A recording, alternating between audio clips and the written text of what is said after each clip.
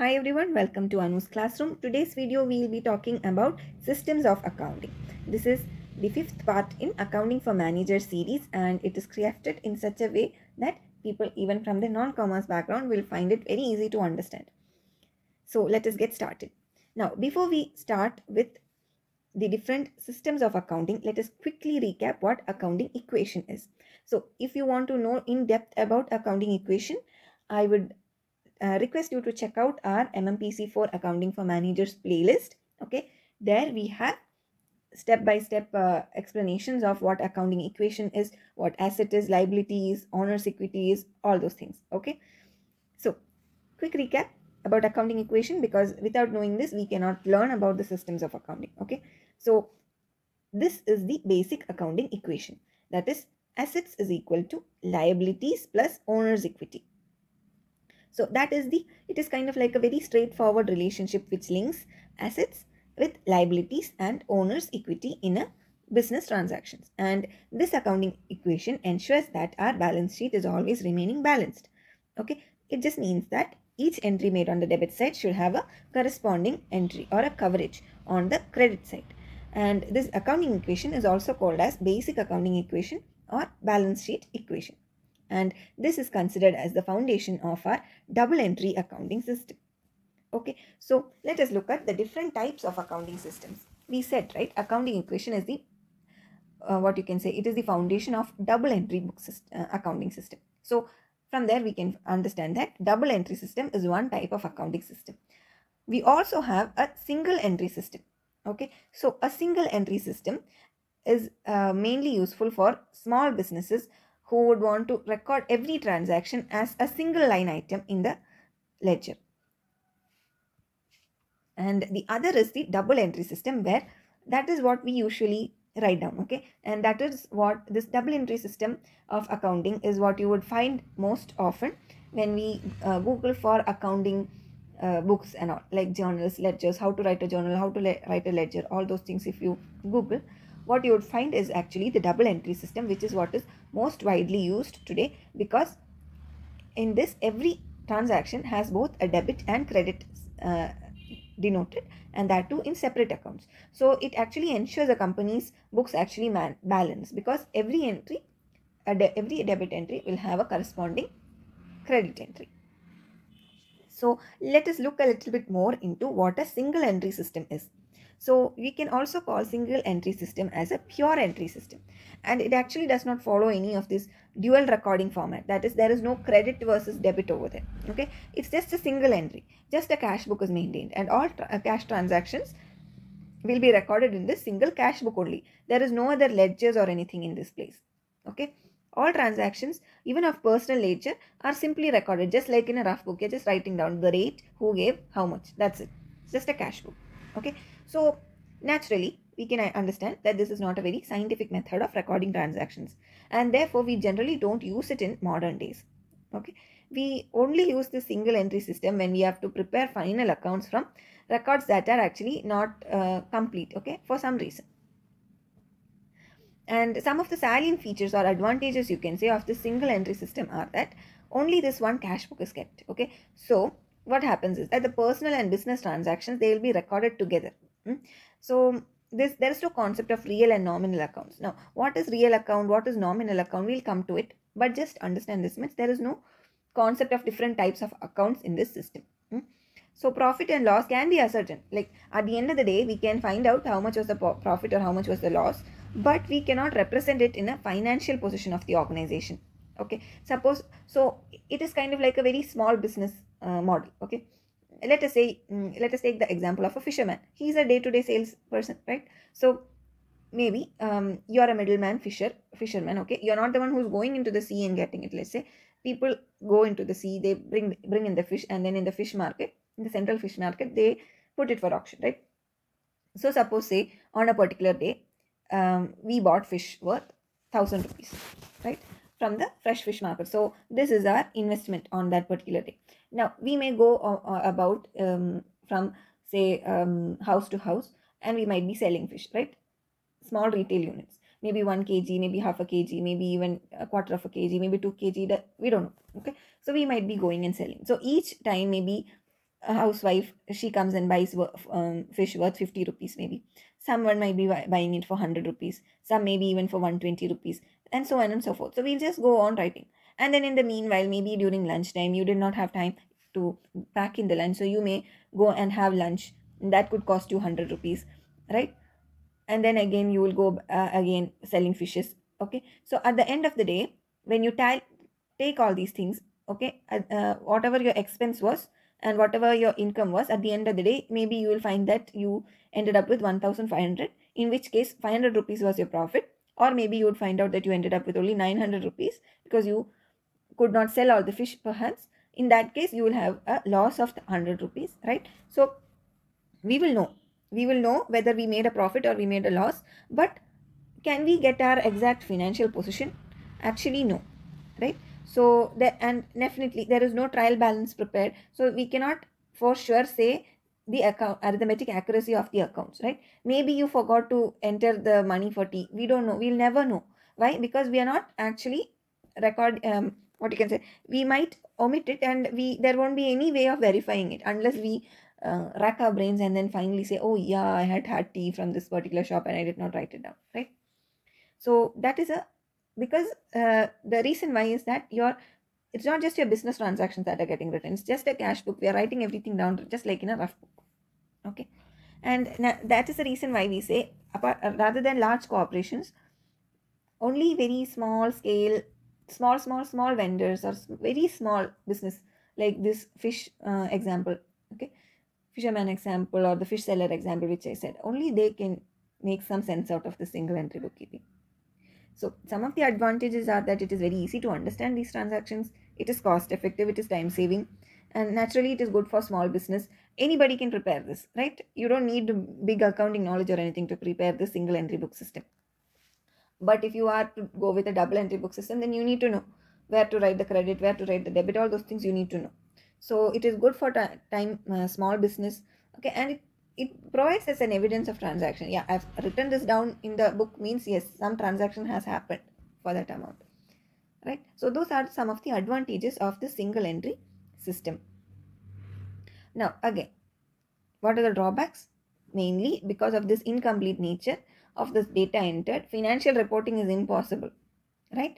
And it is very hard for this business owner to do a financial analysis and maybe plan for resources for the future, right? And errors, if at all has happened, it is very likely to go unnoticed. Theft is less likely to be detected because there is no asset inventory in place, right? And tax authorities also, they do not recognize the single entry system of recording for reporting purposes of any kind, okay? That is single entry system. Now let us come to the double entry system. Okay, this is so this is the scientific method actually. It has some rules and principles. It has to be followed. Those rules and principles has to be followed. Okay, and the basic uh, essence of this double entry system is that every transaction will at least affect two accounts. At least minimum is two accounts. It could impact more than two. There are some transactions which could affect three accounts. Like if there was a sales transaction and we give a discount to that person okay for that sales transaction then it will affect the sales account that person's account and a discount account also so similarly but at least there will be two accounts okay and this is known as the debit and credit rule that is every credit uh, entry there must be a corresponding debit entry. And this double entry system is the one that is widely used and recognized in the accounting world okay? And again a double entry system it ensures that the company's books balance.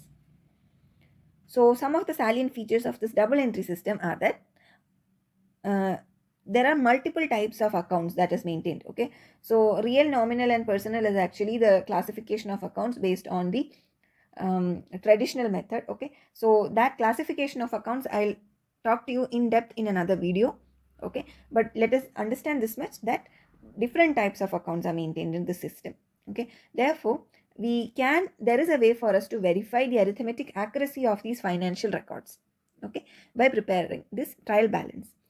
And the system does not have many modifications. It allows for the preparation of balance sheet which can reflect the financial position of the organization it is very easy to detect frauds and errors in double entry system okay so in contrast to the single entry system, this is a very scientific method, right? It assists uh, in rechecking and cross checking of these accounting documents. And since we have both the debit and credit uh, which uh, sides which are recorded for that particular transaction, we have separate accounts for purchase as well as payment. Okay, when we pass entry, we pass entry on both sides. Okay, and this account is automatically reviewed in this method. We will quickly find error if both sides of the trial balance are not balanced. Hmm? and the profit and loss account can in indicate how much profit or loss we made at any given time. So it is very easy for us to actually understand the financial standing or the financial position of our business. Okay, and as long as we have the accounting books, we can analyze the profit and loss report and the balance sheet for at least two or more years. Like we can compare also last year how much we made, this year how much we are making, all those things we can compare, right?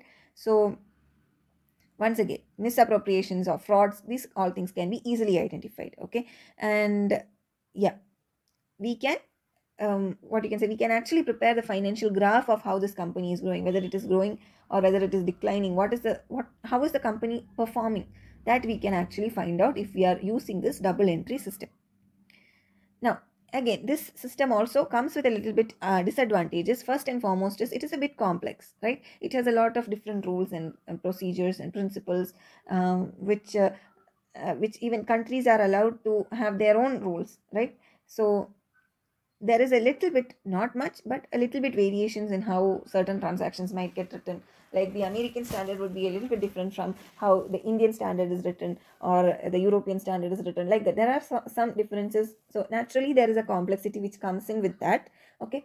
Not any person can. Not a, a layman without knowing anything about double entry system will not be able to write it down. But it is not the case in single entry system right?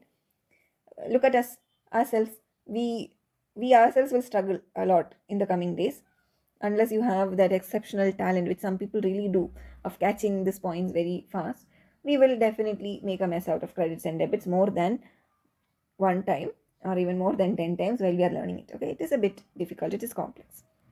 And since we split this into a lot of different accounts and then the credit debit and then all those rechecking and all those things it takes time okay? It takes time to maintain these accounting books than if it were a single entry system, right? So what will happen is that we will need more staff to record all these transactions. Maybe one person will be uh, uh, responsible for writing it all down in the journal as and when it comes. Another person might be responsible for write checking this journal and then preparing the ledger. Another person will be the uh, responsible for maybe the trial balance or balance sheet. Another person will go through by checking all these things and preparing the financial reports, the income statements, all those things, right? So it will need more staff and trained staff that is skilled staff so naturally it comes with a premium okay? So it will lead to increasing the cost. So because of this problem right? Because of this cost involved in uh, maintaining a double entry system what happens is that if it is a very small organization like this uh, the case of the fish vendor which we said right?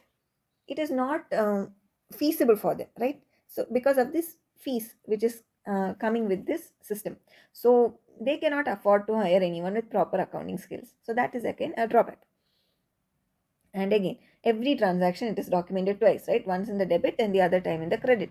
So it will naturally give rise to a larger book. That is, we need more space for storing these transactions. That means a much more efficient computer to process these data in if it is stored in the electronic form, right? So there is a duplication of data that is happening, which means something which otherwise would have taken 1 MB would right now take 2 MBs because there are two. Now, the different types of accounting methods. One is the cash accounting method. Cash accounting method, it records the incomes and ex expenses as they are received or paid. Okay, that is when money trades hands. So, we talked about the different systems of accounting that is single entry and double entry. Now we are talking about the different types of accounting methods, right? That is cash accounting method and accrual accounting method. Now, I am not going in depth about all these things. This is just for you to give a simple understanding about what cash accounting is and what accrual accounting is because sometimes you will find out some some places we will say about uh, accrual accounting as well. So this is just to give you an overall idea so that you don't go blank on this, right?